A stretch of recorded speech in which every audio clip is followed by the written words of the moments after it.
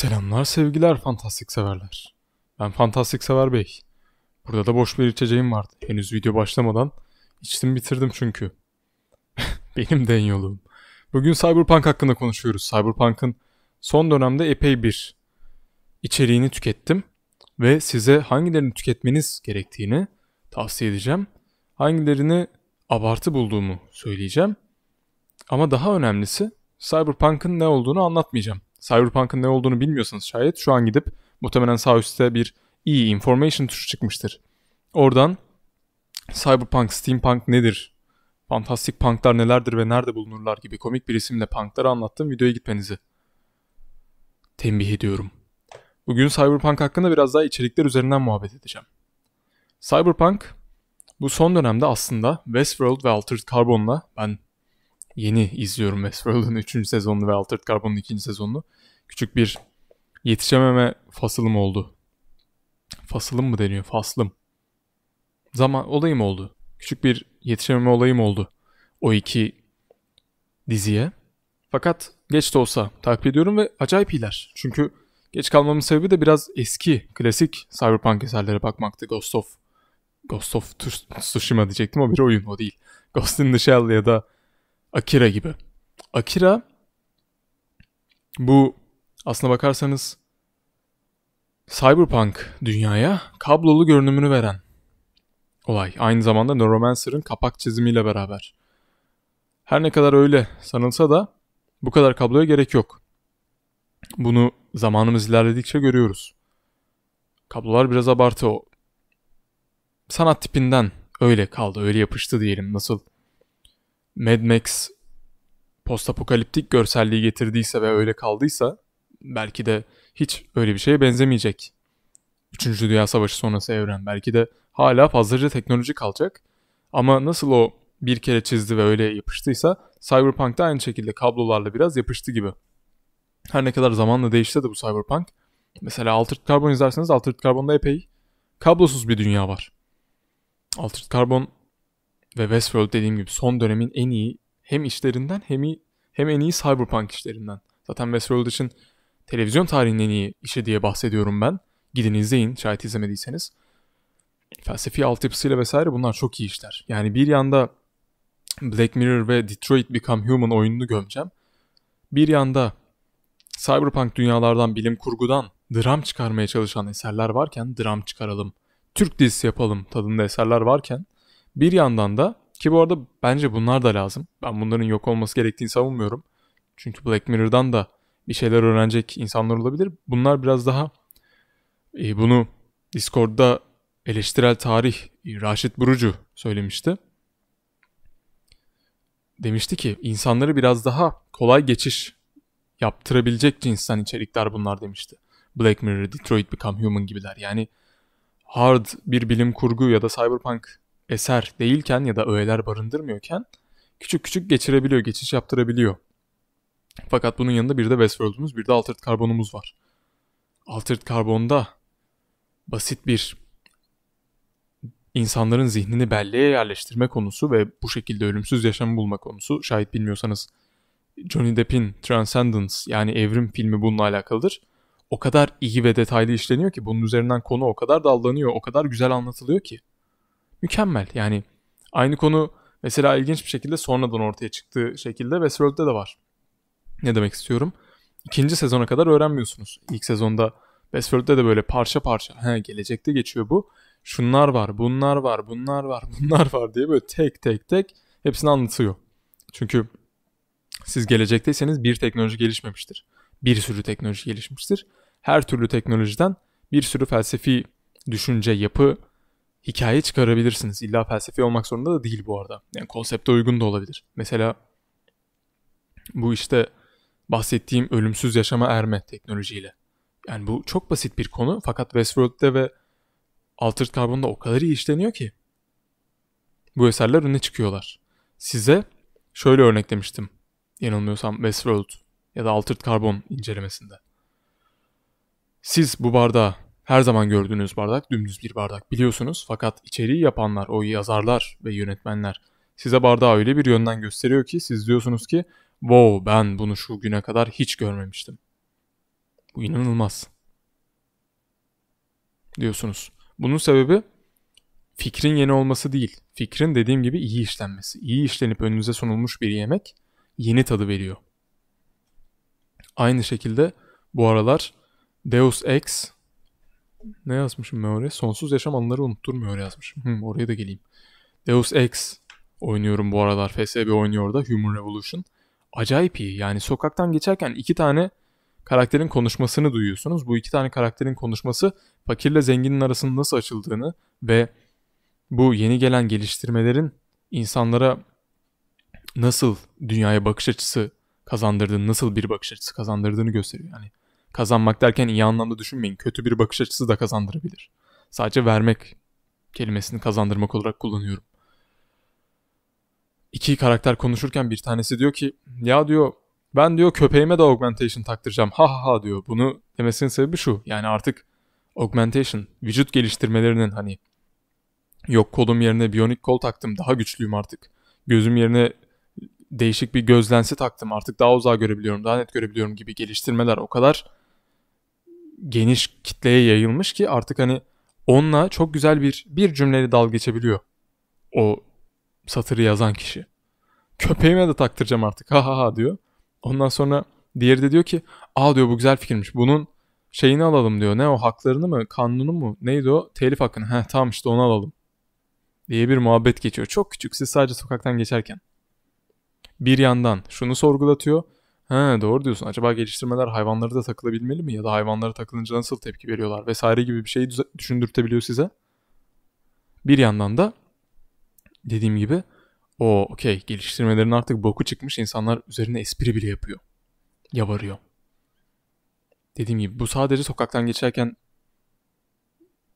duyduğunuz bir olay. Ana hikaye vesaire kesinlikle değil. Bir de ana hikayesi var bu oyun. Bir de karakterin psikolojisi veriliyor vesaire vesaire. Karakterin evine gidiyorsunuz Deus Ex'te. Biraz Deus Ex anlatayım öveyim bari. Bir ayna var banyoda. Ayna kırık. Yanına not bırakılmış. Notta şu yazıyor. Ev sahibini ara, yeni ayna getirsin.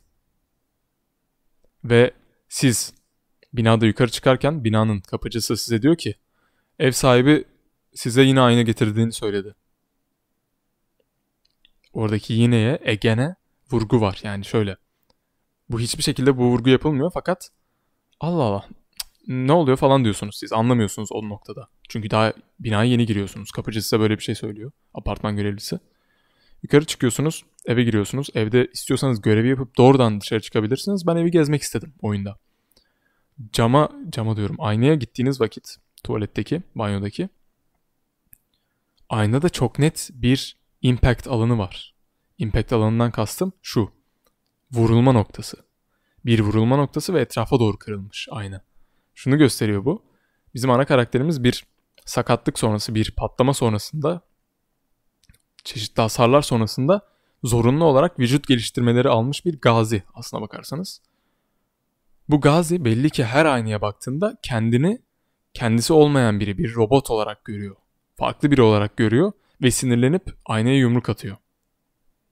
Ve bu birden fazla kere yaşanıyor. O birden fazla kere yaşandığını binaya girerken duyduğunuz egen kelimesinden ve işte yani yaşandığında ya da nasıl yaşandığında, neden yaşandığında o sadece aynadaki o kır, kırılmanın şeklinden anlayabiliyorsunuz.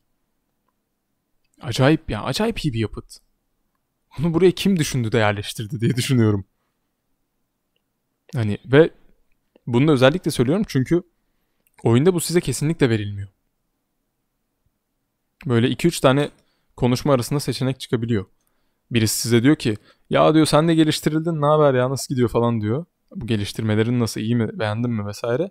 Orada bir seçenek çıkıyor. Bu geliştirmeleri ben istemedim ama işte oldu yine de falan gibi. Zorundaydım. İşte hayat bu gibi bir seçenek çıkıyor. Ben onu seçmedim çünkü öyle agresif bir karakter oynamıyorum oyunda. Fakat karakterin öyle hissettiğini daha sonradan bu şekilde dünyadaki detaylarla öğrendim ve dolayısıyla artık karakterin rolünü ona göre yapabilirim seride. Başka ne anlatayım? Westworld. Westworld bir robot hikayesi fakat robot hikayesi diyerek kesinlikle azımsanamayacak denli bir robot hikayesi.